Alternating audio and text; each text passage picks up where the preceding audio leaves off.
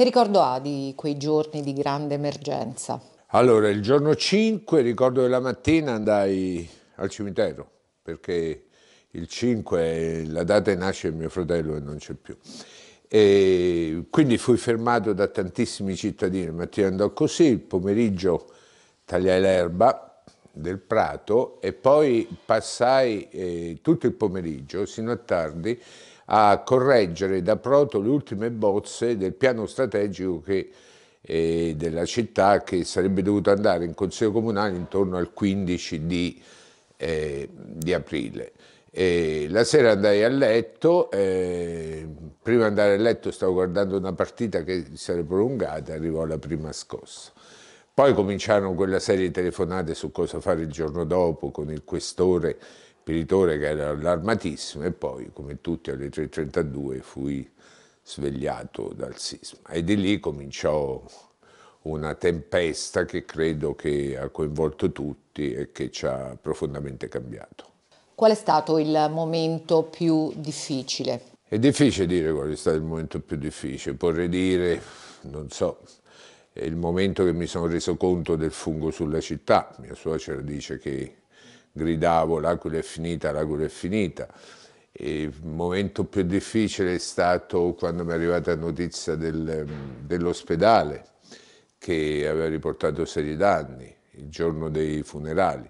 Poi sono stati tutti momenti difficili perché eh, come quello che sta succedendo adesso col coronavirus. L'emergenza è un fatto dinamico, il fatto che escano decreti uno dopo l'altro, che ci si interroghi, è perché non c'è scritto da nessuna parte come si affronta la discussione completa di una città dopo un sisma, eh, come si gestiscono 80.000 sfollati che non hanno acqua, non hanno un bagno, eh, come si fa ad affrontare un'epidemia, una pandemia in un paese come il nostro, con un'economia così complessa, città che vivono con grandi addensamenti. Quindi tutte le emergenze sono qualcosa che ti, non ti cambierà mai.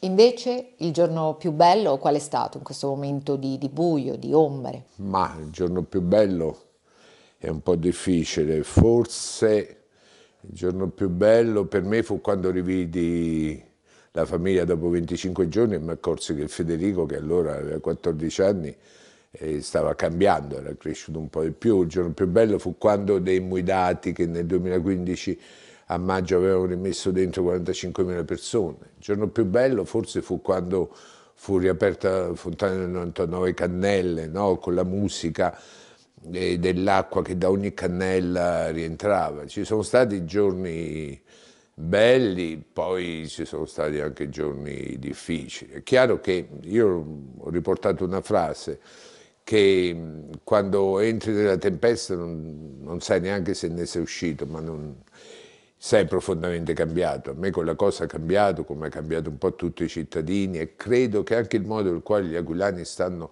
vivendo questa pandemia, questo stare chiuso in casa, sia diverso dagli altri, perché non vi scordate che ci si parlava fra loro, ma eh, io posso testimoniare, la gente stava negli alberghi, viveva eh, lo stesso come una arresti domiciliari.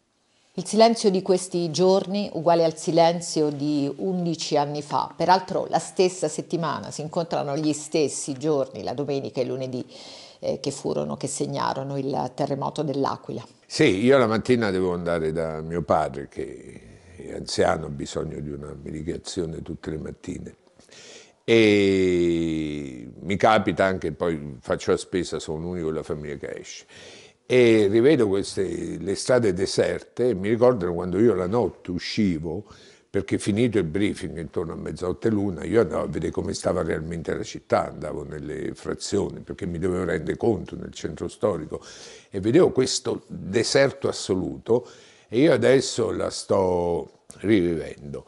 E, ripeto, per noi è, è un richiamo a una tragedia. Io credo che questa notte noi dovremmo ricordare le nostre vittime, ma avviene in modo diverso, perché gli altri anni eravamo presi più nella ripartenza, nella resilienza. Adesso chiusi nelle case, credo che certe assenze, una riflessione sulla nostra tragedia uh, sia ancora più forte. E forse ci può aiutare una cosa, pensare che noi stiamo vivendo adesso questa fase drammatica, ma ci sono popoli nel mondo, fra la guerra, la fame, la disperazione, l'immigrazione, sono eh, persone che vivono questa condizione da, da anni e anni. Grazie a Massimo Cialente, ex sindaco della città dell'Aquila, il sindaco del terremoto dell'Aquila.